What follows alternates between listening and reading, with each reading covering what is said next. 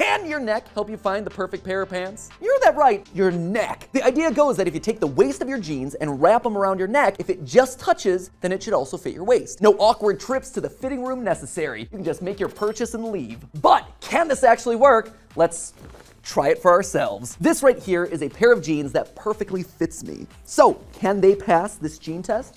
Let's find out. Wrap it around my neck and perfect. It just fits. It works. And here's why it works. You see, there is a scientific reason for this. The human body tends to have standard proportions. Twice around your wrist is actually once around your neck. Once around your fist is actually the length of your foot. Stuff like that. And one of those proportions is that your waist is double the circumference of your neck. My neck tends to be about 15 inches, and my waist size tends to be about 31. It works. Now, obviously, there are going to be limitations to this. If you wear plus sizes, if you carry more weight in your lower half, or you're just buying higher low rise jeans, the trick's not going to work for you. But in general, can your neck help you to find the perfect pair of pants? It